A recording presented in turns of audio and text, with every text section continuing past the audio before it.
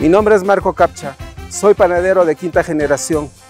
Hoy en día, de las 40 recetas que teníamos en cuanto a los panes ancestrales, solamente se han rescatado de 7 a 10 recetas y los más conocidos son pan chapla, el pan guagua, que hasta actualmente se comercializan a nivel nacional y los diversos tipos de panes que nosotros tenemos aquí como cultura viva. Nuestra panadería tiene un legado no solamente en antigüedad, sino una riqueza cultural que está arraigada a las fiestas y a las costumbres culturales. Desde Ayacucho les damos gracias por abrir esta ventana y mostrar lo que tenemos,